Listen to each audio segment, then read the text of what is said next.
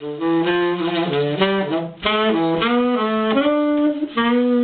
not One, two, one, two.